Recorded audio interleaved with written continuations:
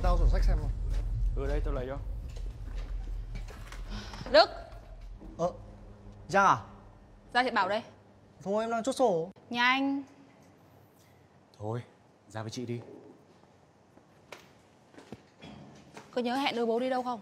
Đi đâu? Sao bố gọi không nghe máy? Bố gọi em ạ. Chứ còn gì nữa. Lúc này em bận Em chưa nghe. Chứ không phải không nghe. Lại còn cãi nữa Không có chuyện gì đâu. Chắc là bắt em đi gặp ừ, ra mắt con gái nhà ai ấy Xong rồi lại bàn chuyện tương lai hy vọng Xong rồi Trước đầu lắm không đi đâu. Không cần biết. Đi về ngay đi. Bố đang bực lắm đấy. Là ông bực rồi. Thì Chị Trang Chị là con gái rượu của bố. Chị giúp em đi. Chị mới bận rồi. Đi về ngay đi. Hội đồng xét xử chấp nhận. Khi xử lý tài sản thế chấp, những người có quyền lợi nghĩa vụ liên quan đang ở trên nhà đất thế chấp có nghĩa vụ giao nộp lại tài sản thế chấp cho bên nhận thế chấp. Phản đối Không phản đối Không phản đối Không phản đối Không phản đối Đây nhưng mà ông là vợ là con này không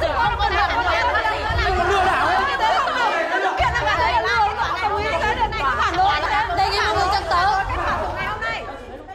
Nếu mọi người náo loạn Chúng tôi sẽ gọi cảnh sát Nhưng mà tôi không đồng ý Nhà tôi không đồng ý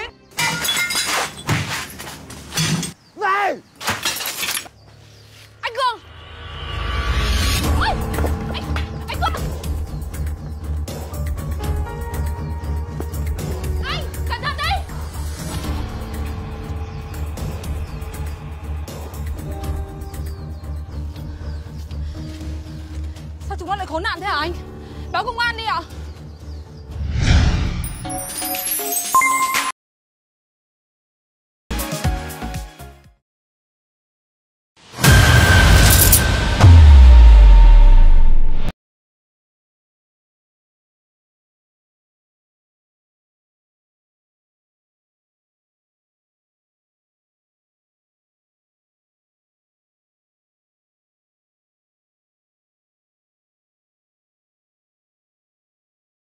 Tìm ra sự thật. Đây là một vụ phức tạp Nhưng không ngờ lại phức tạp đến như vậy.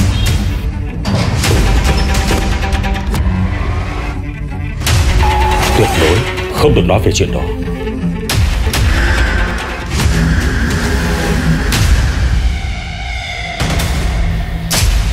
Cậu có biết tại sao tôi lại muốn giao án hình sự cho cậu không?